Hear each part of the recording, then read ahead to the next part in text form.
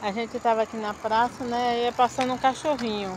Eu vou fazer até um short dele. Cachorrinha, né? Fêmea, né, Mi? É, fêmea. Aí ela passou meio desconfiada, né? Passou e eu disse, ei, vem cá. Conversei com ela como se estivesse conversando com a pessoa. Balançou o rabinho. Eu disse, vem cá, não vou te fazer mal não. Acontece que a cachorra, sabe o que foi que aconteceu? Veio Aí cheirou Noemi, que estava no outro banco ali. E aí depois eu disse, vem cá, não vou te fazer mal não. Ela veio, subiu no banco e tá aqui, ó. Mas como vai chover, vai lavar o banco? Porque tem pessoas que fazem o mal, bate no cachorro. Não sei como é que tem coragem de fazer isso.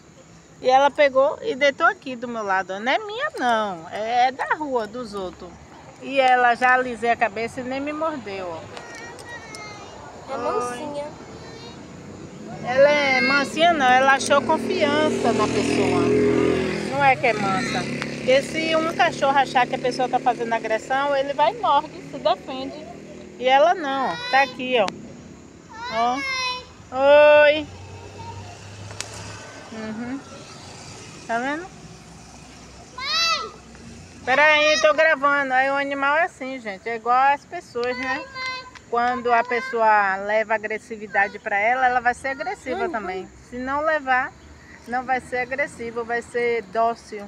Depende de você, como você vai trabalhar isso.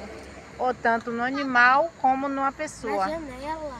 Isso aí está dentro de você. É o que você tem para dar.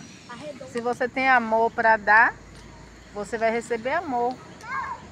Mesmo que seja do bichinho, ó. É assim. Tá bom, gente?